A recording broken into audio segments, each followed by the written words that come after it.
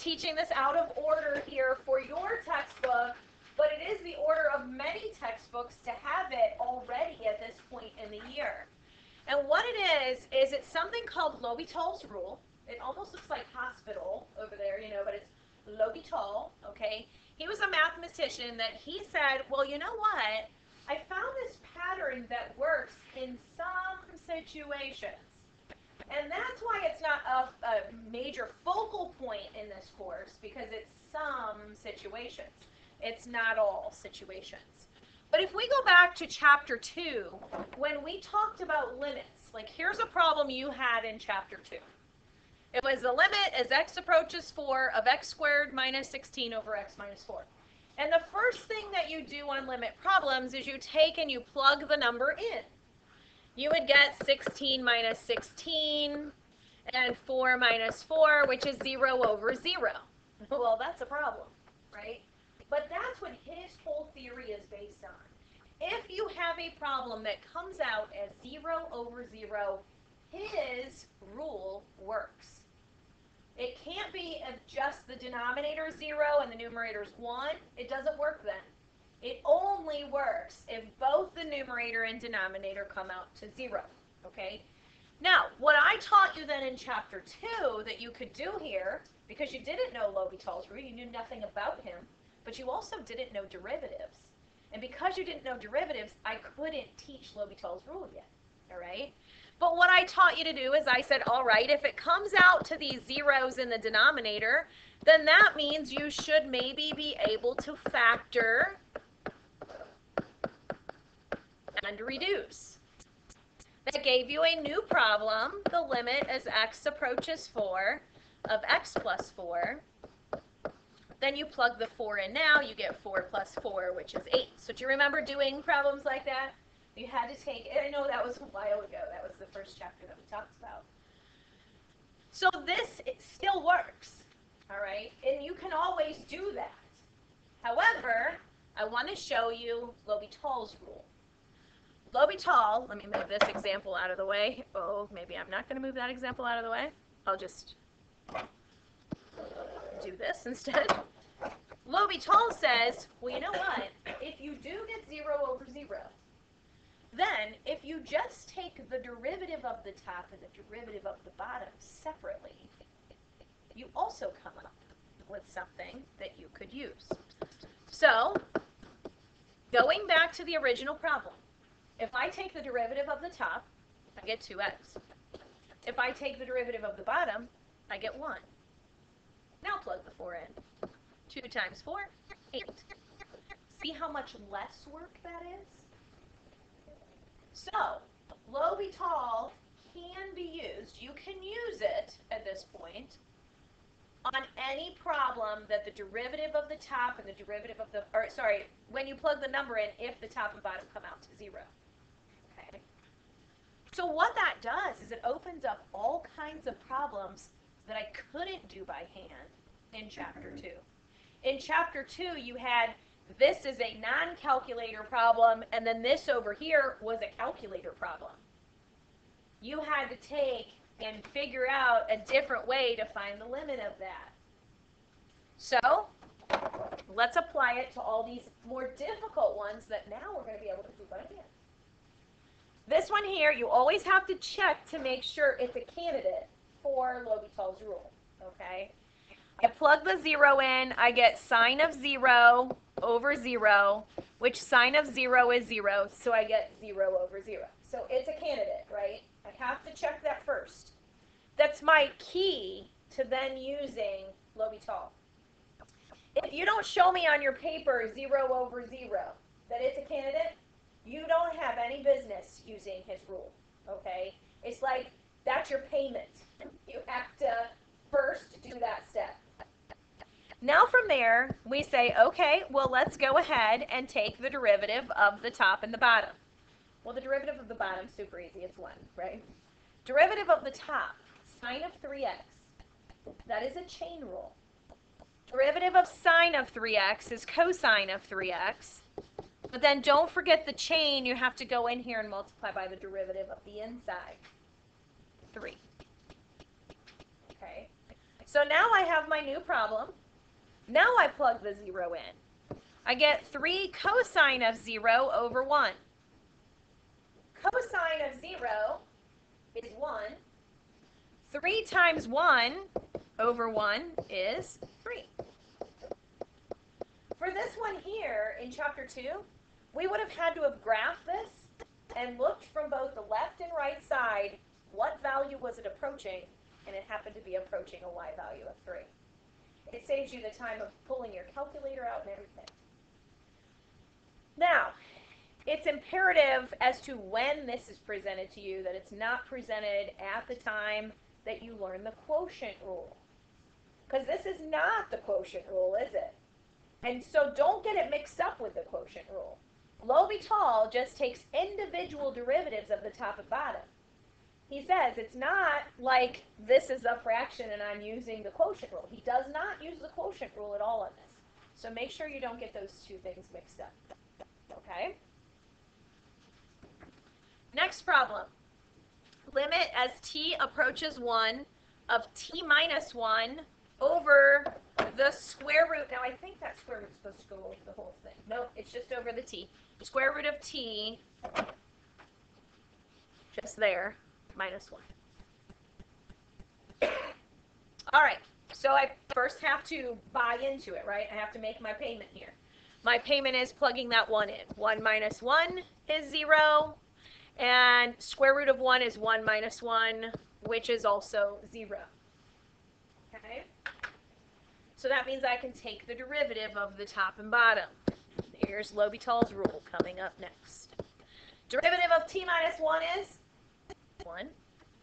Now, the derivative of square root of t minus 1, well, looking at the derivative of square root of t, so that's t to the 1 half, right? So 1 half t to the negative 1 half. Everybody agree? So I should probably clean that up. All right. When I clean that up right there, doesn't it mean if you have a negative exponent, it goes to the other side of the line, right? So my square root of t is coming up to the numerator. Now, what it, could I also multiply both the top and bottom by 2 to get rid of that fraction down there because we can't have a fraction inside of a fraction? And I don't really need that 1 in the denominator. Everything ended up going up to the numerator. Now I plug the 1 in. I get 2 times the square root of 1, which is 2. Yes? The negative on the bottom. This negative on the bottom? Okay, okay. All right. Again, this is not one, well, actually, here's what we would have done on this problem in chapter 2 we would have multiplied the top and bottom by the square root of t plus 1, the conjugate. It's been a while. But we would have multiplied by the conjugate, and then from there we would have been able to plug it in. But multiplying that by a conjugate then becomes a big algebra issue. So it cuts out a lot of the areas where we might make mistakes on a problem. Okay. So I hope you appreciate L'Hopital's rule. You know, it's kind of like a gift almost because it saves you a lot of time. All right. All right. How about this one? The limit as t approaches 1 of t minus 1 over natural log of t minus sine of pi t. The only way I could have done this problem in chapter 2 would be to graph it and look around where uh, t or x is 1. Got to make my payment here. 1 minus 1 is 0 on the top. Natural log of 1 minus sine of pi didn't natural log of 1 come up yesterday or the day before? What's natural log of 1? 0. And what's sine of pi? 0. So I get 0 on the top and bottom. So I've made my payment, now I can use L'Hopital. It's like a toll, right? You got to make your payment before you can use the road, right? Same kind of idea. All right, so now let's take the derivative. Derivative of t minus 1, 1 Oh my goodness. What is the derivative of natural log of t? 1 over t, good. And then what is the derivative of sine of pi t?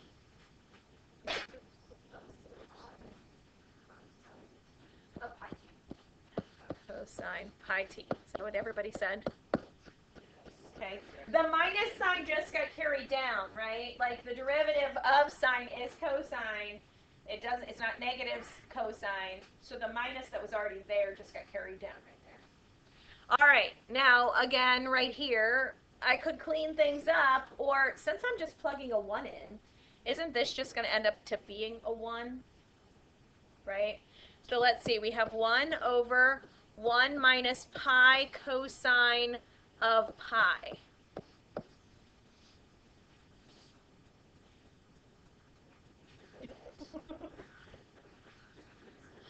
Are those leaves? It's still it hurts. Birds? What? All right. Let's cosine of pi. Cosine of pi. Negative 1. So this is 1 minus pi times negative 1. So that's 1 plus pi. 1 over 1 plus pi. That one there would have been very difficult on a calculator. I would have only been able to give a decimal that's close to it. This is an exact answer. This is even better. Okay. So L'Hopital can be used on limit problems. You guys ready? We're going to switch. All right. So now I have some others here. These here, uh, I don't know if you guys have to do those, those to be honest. So they've added, it, I've always taught L'Hopital's rule in previous years and such. Um, but uh, as it turns out, you know, um, they've added it for this year. Like, it's never been on previous year's tests, and they've added it in. So, I mean, my kids always had it because it's, again, it's a shortcut that you could use. And you were allowed to use it, but now they're going to give you problems that you have to use it on. But anyways, I'll still go over this. We did this earlier. We did this in chapter 2, but so it's not a bad reminder. But what happens when x is approaching infinity or negative infinity? That really has nothing to do with L'Hopital's rule at all. Okay? This here has to do with the exponents. Because it's referring to end behavior. And again, you did this earlier this year. You also did it in Algebra 2 and Pre-Calc. Okay, so it's going to maybe seem familiar to you. When it's not a number to plug in, it's either positive or negative infinity. It doesn't matter which one. You look for the highest power in each of these. Okay, that's all you care about in these. 2x cubed over x cubed is 2. That is what the limit is as x approaches infinity. That happens to be what we call a horizontal asymptote. This graph has a horizontal asymptote at 2, so both ends go towards 2. Okay? That's if the exponents are the same. So if the exponents are the same, really it's just taking the coefficients of them, truly.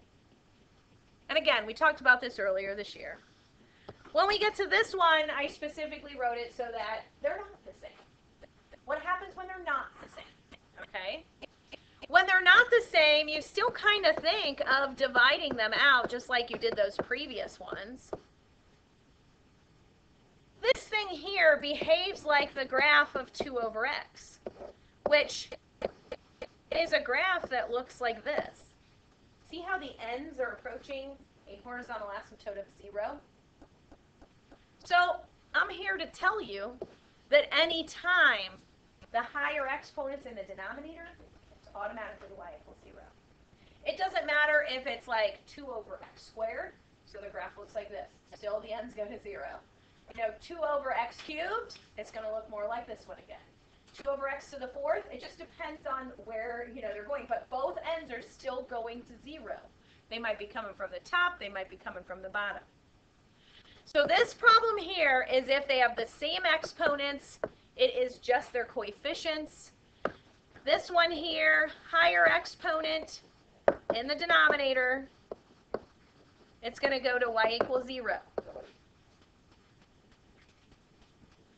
Uh, I think this is supposed to be a 4 right here. Let's change that to a 4 because we want the higher exponent on the top this time. higher exponent on the top. means it's either going to positive or negative infinity. It's not going to a number. Some textbooks will say the limit does not exist because it's not going to a specific number. Okay? So you might see that does not exist as an answer choice as well, depending on how, what route they're going with the problem. How this one truly works out is if you take the higher exponent on the top, 2x to the fourth, the higher exponent on the bottom, you get x cubed, you end up getting 2x. Think of the graph of y equals 2x. Isn't it a line with a positive slope? So if it says as x approaches infinity, they're talking about the right side, which means positive infinity. If it says as x approaches negative infinity, you'd be talking about the left side, which is negative infinity. That doesn't mean every problem is that way. Because it's possible if you had 2x to the fourth on top and x squared on the bottom, when you divide them, you get 2x squared. That's this. That means both ends are going to positive infinity. Okay? It could be what that one of them's negative. And so all of a sudden you have like, oh, negative x cubed. Boop. That means this end's going up there, this end's going down there. So if you just still take the highest exponents and divide them, it then gives you an equation that it acts like. And so the ends of that bad boy act just like that little algebraic equation that you come out with. Okay, do you remember talking about that earlier in the school year, chapter two? All right, that is the conclusion of section 9.2. So now you can do the homework problems, which are just 1 through 8 out of your textbook. Remember, you all have a textbook under your desk so that you can use.